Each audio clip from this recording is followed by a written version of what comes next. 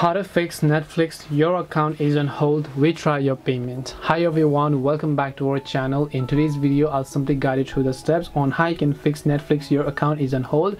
Retry your payment options so just make sure to watch the video till the very end. Now if you'd like to fix Netflix your account is on hold and retry your payment option all you have to do is simply go ahead and then first of all open up your Safari browser or any browser that you have. We don't want to use the app because the application will not let us do anything. So open up your browser go to netflix.com sign into the account and then see if that gives you any sort of errors. Now once you've done that just tap the three lines icon here and then just go to this option called account. Then once you basically go to the account option here you'll be able to see all these sorts of information. You just need to basically scroll down look for this option called manage payment info and then tap on it now when it says Netflix your account is on hold, retry your payment, the issue is not with your Netflix account.